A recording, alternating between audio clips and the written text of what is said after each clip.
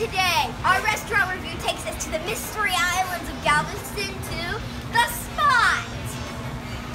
Today, we're gonna try some of their delectable burgers. Let's go in and take a look.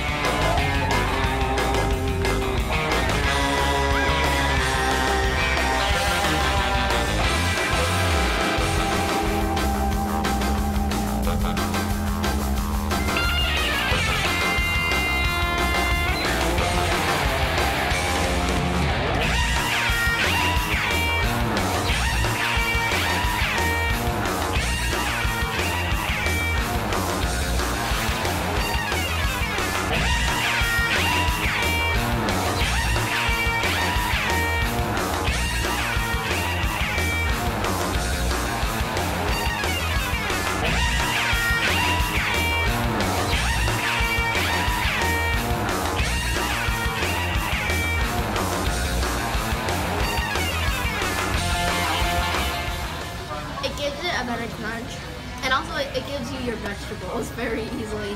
I wouldn't advise putting tomato on it because sometimes the tomato is hard to eat, and to me sometimes at restaurants it's kind of mushy.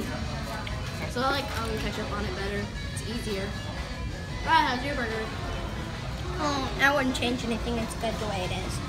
Isn't it interesting, Riley? What did you think about the comparison between the adult burger and the kids burger? They- wasn't. No, it wasn't. about the same.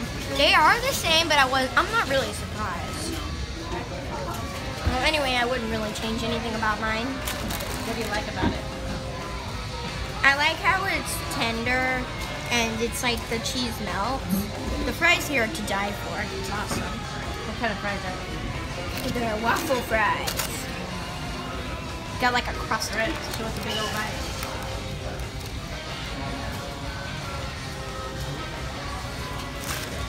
I kind of don't really like how the bun is just so big because I didn't really get a lot of it. I'd like it if the burger was a little bit thicker.